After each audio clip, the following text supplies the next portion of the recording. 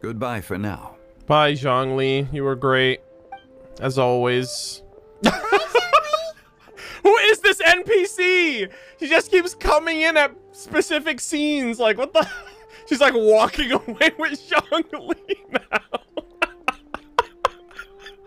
the, the timing of that is too perfect.